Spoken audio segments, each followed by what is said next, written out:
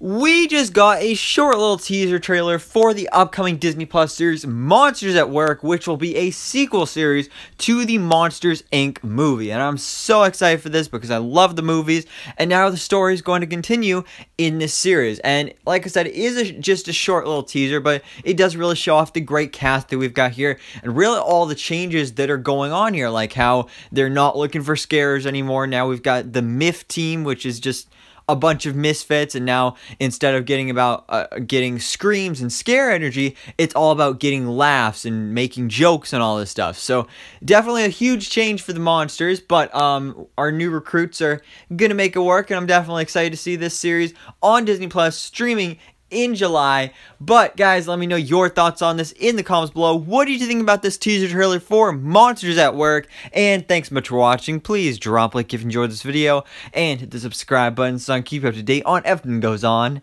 in the movie life.